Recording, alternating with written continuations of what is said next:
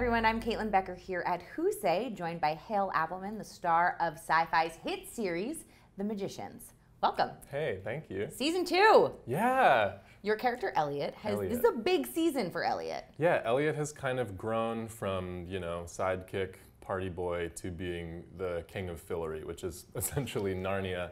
Um, so yeah, It's quite a step. yeah, he Sidekick, took a, party boy, uh-huh. king of magical land. Yeah, yeah. His uh, he's he's earned his own storyline this season, which is really exciting, and um, we're exploring a, a larger scope on the show.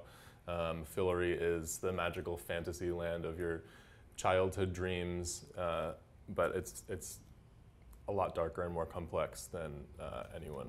And we got hints at Fillory in the beginning. Yeah, We- there in was sort of season one. We sort of had dream sequences and flashbacks and, and, and a little taste of the kind of creature that you might meet in Fillory or uh, the characters that you might come across that have passed over into Earth or in New York City. And season two, you get to meet a lot more of uh, the world. The world really gets filled in a little bit more, and so that's exciting.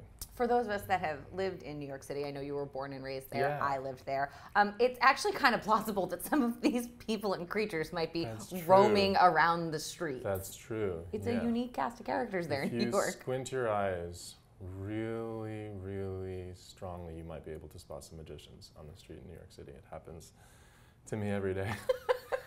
so. You know what I- found really fun Hmm. about season two is that it, there was such a departure um, from sort of a little bit of what we were used to with season one, where we had kind of real life. It was Right. these uh, sort of magical types of people, this world um, in, infused into our common everyday life that we can relate to. But once we get into sort of Fillory, we are Right. getting, um, we're kind of getting to open up that sort of fantasy side That's of things, right. which is really, really fun. And I have to imagine for you to go from that sort of everyday magic and everyday life to magic being everyday life has to be fun. Absolutely. I mean, I think I think the show, you know, sort of grounds itself in stories that are innately human, coming of age stories, but um, it's fun to expand into the fantasy uh, for all the fantasy fans, you know. And I grew up, you know, loving uh, Tolkien and uh, The Princess Bride and and uh, Monty Python Search for the Holy Grail is like a, a real childhood favorite of mine, and Fillory kind of has elements of all of those uh, aspects, and Narnia, of course. Um, and so it's fun to kind of see when the show um, wears its references on its sleeve in a really deliberate way. Um, and there's something intentionally kind of meta about that, I think, that um, Lev Grossman, the author, intended, and also our showrunners, uh, John and Sarah, also are, are very. Uh, And one of the in episodes in the first season, Eliot actually gives us an Avada Kedavra moment. That's right. a little like Harry Yeah. Potter nod, which is sort Right. of a cute way of acknowledging the other um, stories that make these kinds of worlds. Right, exactly.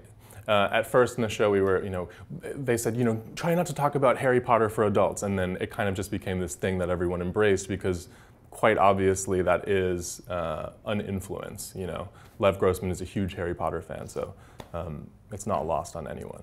Well, I also think uh, there you have to be able to acknowledge that world because those kids that starred in the films and those kids that grew up reading them are now adults. That's right. So you have a built-in fan base of children 100%. who grew up Yeah. and are now in their 20s and 30s Exactly. who want to see sort of a grown-up version of that uh, fantasy life that can pertain to us with more sort of a more mature audience 100%. and you guys really hit that i mean you don't dance around um, adult issues Right, exactly. And when I read the books, I really felt uh, Lev Grossman had tapped into something that was missing in the cultural landscape. He's really taking all of those influences and turning them on their head and, and creating something new with it. So, um, yeah, I'm, I'm very excited by all of it, really. so from what i understand you auditioned for a different role Yeah.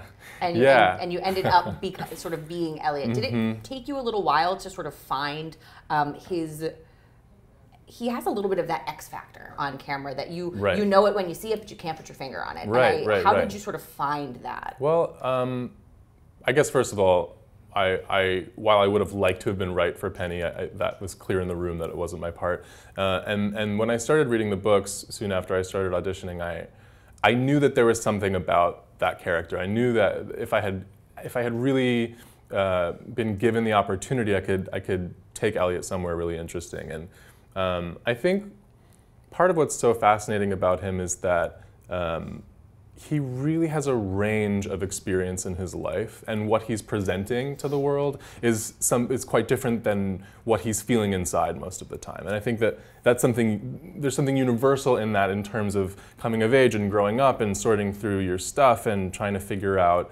Um, who you are and what you want. And I think Eliot wants to be perceived in a very specific way while kind of ignoring everything that's come before, which is, you know, probably a, a, childhood of, of incredible trauma, which the show sort of like peeks at here and there, but you don't really get to see a lot of. So um, it would be really easy to write him off as, as you know, uh, a kind of like uh, one-liner sidekick, flip flippant, uh, whimsical character 100% of the time. And, and I think what's interesting about him is that he is layered.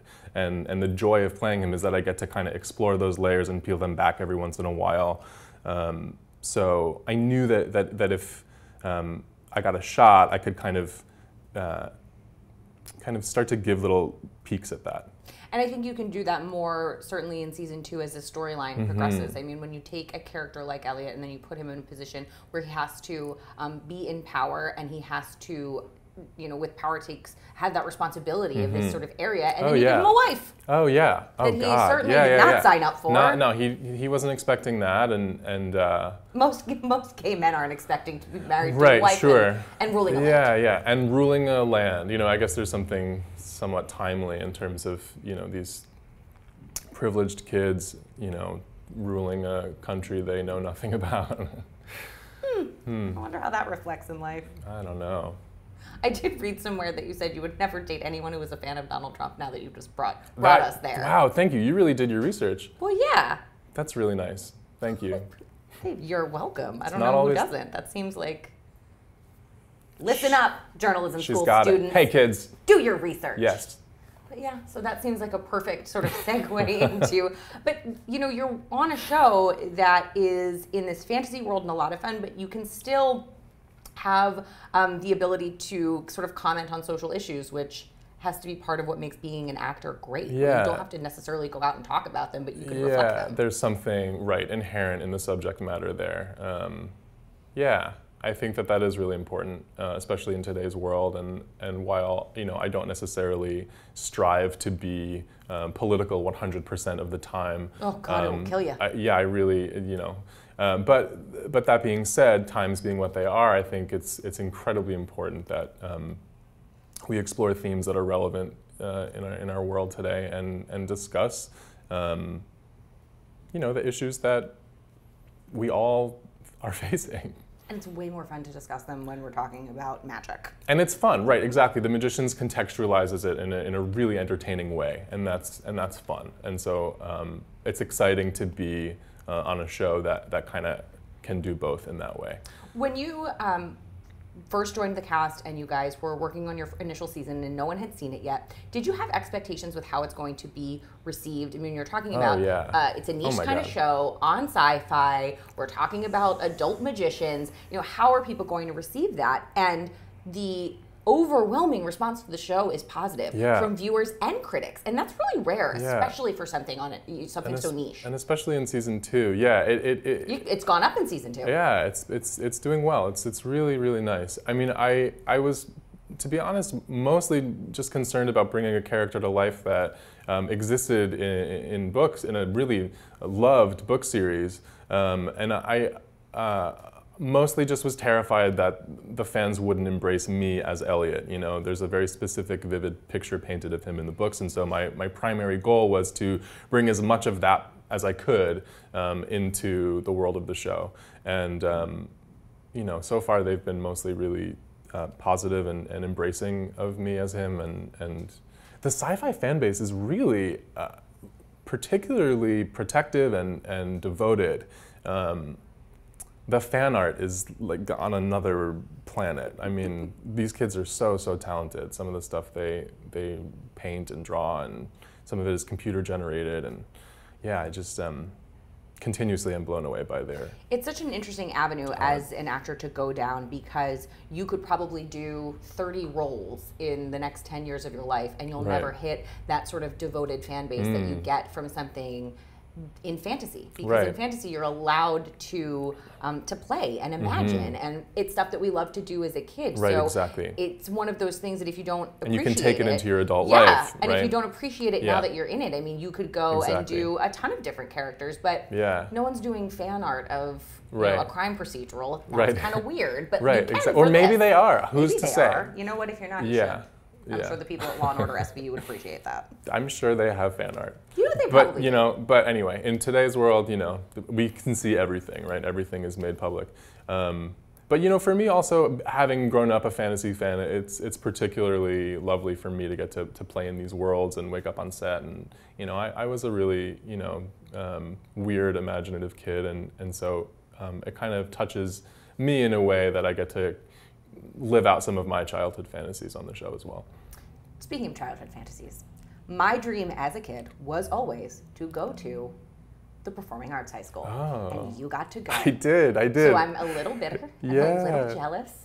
What You was that be. like? I You know. should And if you guys don't know what I'm uh, talking be about, watch. Fame. Yeah, I um I I was born in New York City, but I grew up in the suburbs until about high school, and um, yeah, and I transferred to to Performing Arts High School, LaGuardia, and um, yeah, I just I had wanted to go there from the time I was I guess ten, um, and my parents let me audition, and and yeah, it was really it was a really life changing experience when you're when you're 14 or 15 and you're in a school of i guess 2700 young artists there's just a really palpable energy in that building and, Probably and a um, lot of drama.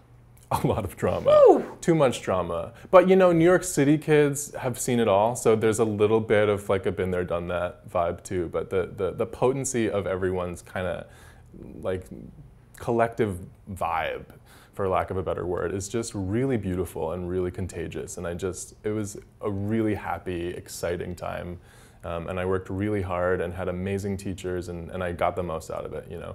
So, So i loved it. considering, well, okay, I get it. I didn't get to go. You loved it. It was amazing. Yeah. I get it. Mom, I'm still pissed. did you ask did you try of course I did. did you I'm- grow up in, in new york I grew up in Jersey, Ah. but two and a half hours from New York, and I'm I'm married and 32, and my mom still had a hard time letting me move to LA. So Right. at 14, she was not letting me move to New York.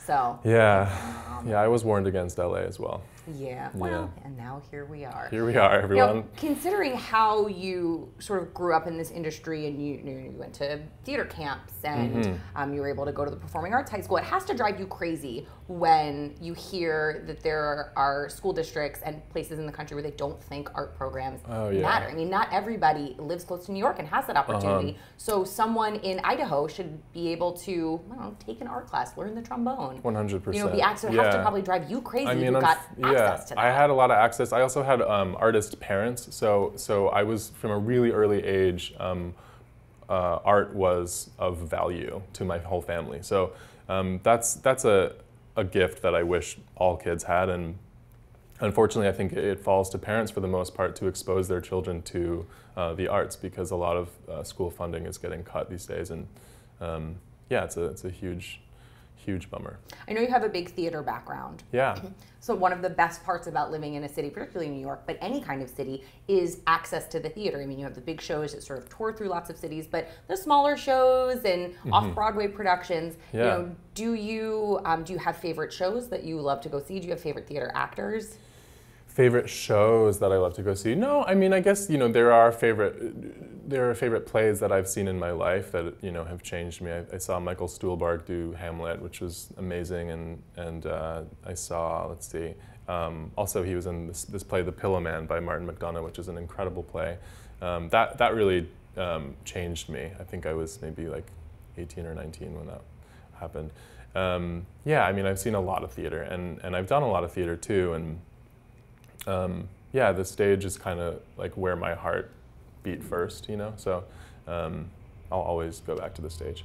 And it's uh, it has to be the type of skill set that you get in theater um, translates to television and film, but Mm-hmm. Yeah, in there's a way. nothing more challenging than having to turn it on for this Right. amount of times. You don't get retakes. You don't right, get right. do-overs. Yeah, you it's don't a, get resets. there are particular skills, you know, for each medium, and and you know, theater taught me to really um, work my way through a role and, and take it apart and put it back together and, and really invest time and energy exploring who that person is as much as possible. And um, you know, you have that with rehearsal in theater, and um, so so that that's useful for me in terms of a certain kind of preparation that I bring to, to what I do on camera. And certainly Um, with Eliot, for something sure. Especially there's something him. theatrical. He's putting on a show a lot of the time until he cracks, and then you know his heart rips open. And He has that sort of um, Prince David Bowie Thank you, yes. quality where um, there's sort of that raw sort of sex appeal, but it's kind of in your face. Right. I mean, that's sort of that kind of confidence that those types of people exude is sort right. of what I feel like right. And Eliot's essentially you know putting putting that mask on intentionally to kind of you know hide. Um, the darker stuff that he doesn't want to talk about. But you just brought up sort of cracks in his veneer, and just to bring it back to the Mm-hmm. Sure. to the magicians before we wrap it up here, are we going to see more of what kind of makes him tick internally? Yeah, you'll see a little bit this season uh, towards the end. But you know, my, my great hope for the show as it continues, as you know, I hope we do continue, um, is that we really do get to explore some of his like internal emotional machinery. I think that that. Um, I think people are, are looking forward to that. And, you know, we get a little bit, we get tastes of it throughout the season. Um, and certainly by the end, Eliot starts to take more responsibility for his life. So we've watched him really evolve and grow into someone who's starting to look at adulthood um, through the lens of a, of a baby adult. You know, A baby you know baby adult. adults. Yes. You know? We pretty much are baby adults Yeah, baby here at this point. This you're looking at two baby adults right here. You know, I just this type of show. I have to imagine that all of your sort of fans expect you to be able to do some sort of magic when they see you. Right. So how are you at like sleight of hand? Oh, terrible. Not good. No, I'm good good. at shuffling cards, but I'm not good at card tricks. You could really bring them in though with the shuffle, and then, Yeah, I could just, it just you know, kind of fizzles out. I'll wow you with my shuffle, but that's it. It ends there. Hale, thank you Yeah, so much for thank joining you. me here today. Yeah. And of course, you can catch Hale in The Magicians on Syfy. We're in the middle of season two, so go back and binge if you haven't already started.